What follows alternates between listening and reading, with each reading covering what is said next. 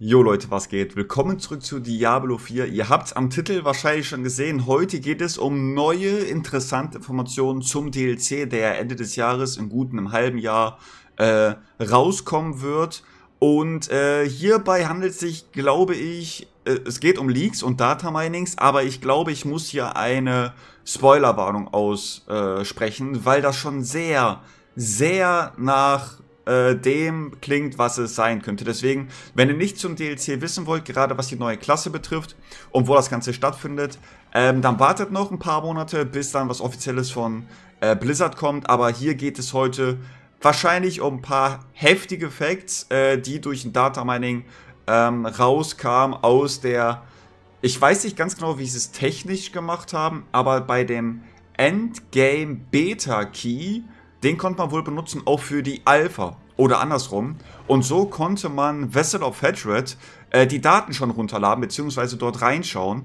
Äh, wie genau das technisch äh, funktioniert hat, das kann ich euch nicht sagen, da stecke ich nicht weit genug drin. Aber was ich sagen kann, ist, was dabei rausgekommen ist. Und das sind extrem nice Sachen. Deswegen auf jeden Fall, ihr seid hiermit gewarnt. Wer nichts dazu wissen will, ähm, wartet noch ein paar Monate, bis dann die Infos von Blizzard offiziell sind. Es ist ja auch eher so ein bisschen was könnte es sein, was wäre wenn. Äh, aber wenn ihr gleich die Infos hört, dann werdet ihr schon merken, okay, das klingt alles schon sehr, sehr real. Okay, fangen wir mit den ersten Sachen an. Natürlich, äh, eine Sache wissen wir sowieso schon, das war auch schon im ersten League bekannt. Äh, der Name der Klasse wird Spiritborn heißen. Äh, das werde ich auch gleich noch mit Leben füllen, weil wahrscheinlich wissen wir auch, welche Klasse es sein wird. Ähm, die, ihr wisst ja, bei Attacken ist es immer unterteilt. Ich kann euch das gerade mal bei dem Barbaren hier zeigen. Wenn ihr hier äh, bei den Attacken seid, dann seht ihr immer oben diese Beschriftungen. Und da sind vier Stück rausgekommen. Einmal Himmel, einmal Erdreich, einmal Wald und Ebene. Das passt natürlich auch perfekt zum Thema von äh, dem DLC, was ja in Kuras stattfindet. Übrigens noch eine heftige Sache, die mir aufgefallen ist.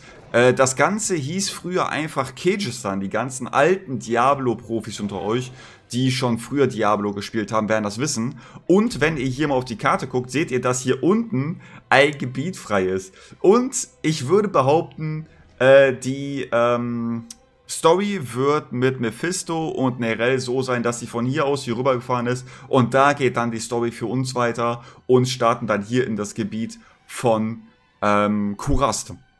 Das nur nebenbei. Äh, zurück zu den ähm, Attacken. Also, die Namen der Attacken heißen Klingenflügel Razorwing, Sporenschote Sporepot, Schreckliche Spinnen Dreadful Spiders, Jägerklaue Hunters Claw, Brutales Parieren Vicious Parry, Fledermausschwarm Batswarm, Viperngrube Viper Pit, Rankenhaken Weinhook, Aufsteigen Soar, Pestilenz, Pestilenz, Spur des Verschlingers, Devorers Wake. Ähm, das soll wohl sowas sein wie ein Sandwurm, der aus, der, äh, aus dem Boden kommt. Sehr cool. Vielleicht ist das sogar auch so eine kleine Anspielung auf den Sandwurm aus der Höllenflut. Würde ich sehr cool finden.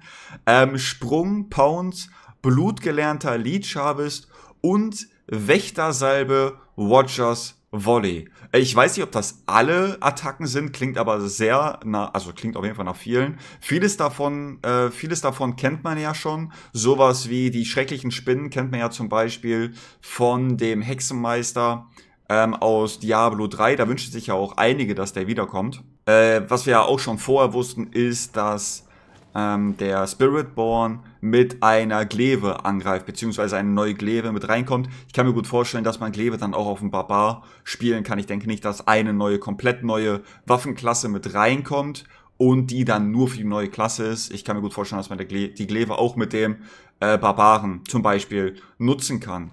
Ähm, außerdem, das hatten wir ja bisher noch gar nicht, das kennen wir, kennen der eine oder andere vielleicht aus Diablo 3 noch. Ich weiß nicht, ob es bei Diablo 2 auch der Fall war. Aber dass es zwei Ressourcen geben wird und äh, dieser Spiritborn äh, zwei Ressourcen haben wird. Äh, ich kenne das noch vom Jäger aus Diablo 3, der hat ja ähm, auch zwei verschiedene Ressourcen anzeigen und das wohl, soll wohl hier auch der Fall sein. Und jetzt kommen wir wahrscheinlich zu dem größten Spoiler, weil man wenn man alles zusammenfasst, auf einen Charakter kommen könnte, den es schon im Blizzard-Universum gibt, äh, gibt und den sich auch Fans schon sehr, sehr lange wünschen. Äh, ich habe das auch nur gelesen. Ich bin noch nicht so lange in diesem Diablo-Thema drin, aber es wurde sich eine Klasse extrem gewünscht, oder beziehungsweise es wurde sich allgemein gewünscht, dass man aus diesem WoW-Thema eine Klasse oder ein Charakter in Diablo mit reinkommt. Und das soll jetzt passieren, weil alles deutet auf den Shadowhunter, den Schattenjäger ähm, hin. Ich werde euch mal ein Bild hier einfügen für alle, die das nicht kennen. Ich kannte den auch nicht, weil ich bin auch kein äh, WoW-Profi. Aber ähm, es soll sich wohl bei der neuen Klasse entweder um eine Abwandlung oder um den tatsächlichen Schattenjäger handeln. Ich habe mir eine kleine Zusammenfassung dafür rausgesucht, für alle, die davon keine Ahnung haben, so wie ich. Die Schattenjäger sind Meister der Voodoo-Magie und die höchste Autorität unter den Dschungeltrollen. Würde also auch super zu Kurast äh, passen, weil das ja auch komplett Dschungel ist.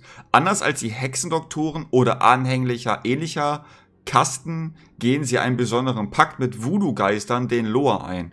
Die Schattenjäger sind dann in der Lage, die Essenz einiger dieser äußerst mächtigen Wesen mit Hilfe ihrer zeremoniellen Ruschka-Masken zu kanalisieren und erhalten besondere Fähigkeiten, die nur die Loa gewähren können. Mit zunehmender Erfahrung wird die Bindung der Schattenjäger zu den Loa gestärkt und verleiht ihnen schließlich die Fähigkeit, nach Belieben zu verfluchen und zu heilen. Es passt meiner Meinung nach extrem gut in dieses Kurast und Diablo-Thema mit dem Schattenjäger mit rein. Ich find's äh, extrem, extrem spannend. Schattenjäger sagt mir zum Glück nichts. Ähm, hätte mich, ich wäre ein wenig ich habe vor ein paar Tagen schon im Stream gesagt, da haben wir ein bisschen philosophiert, ey, was für eine neue Klasse würden wir uns wünschen? Und ich habe die ganze Zeit gesagt, ey, ich will eine Klasse, die nicht schon wieder ein Mensch ist, weil der Druide ist ein Mensch, auch wenn er sich verwandeln kann.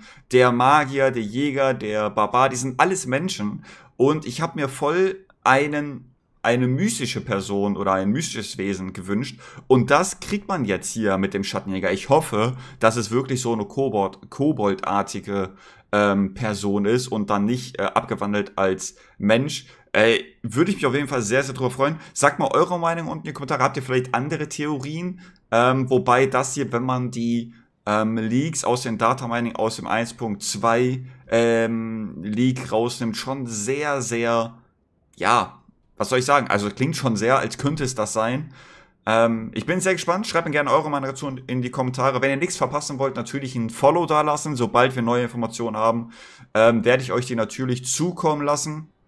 Ich würde mich sehr über ein Like freuen. Und wenn ihr live dabei sein wollt, ich bin gerade dabei, ein bisschen in Diablo äh, mit der Grube und bei den Bossen und mit dem Barb einfach drauf zu knüppeln. Wenn ihr live dabei sein wollt, dann checkt doch mal Twitch ab. Und dann würde ich sagen, bis zum nächsten Mal, Leute.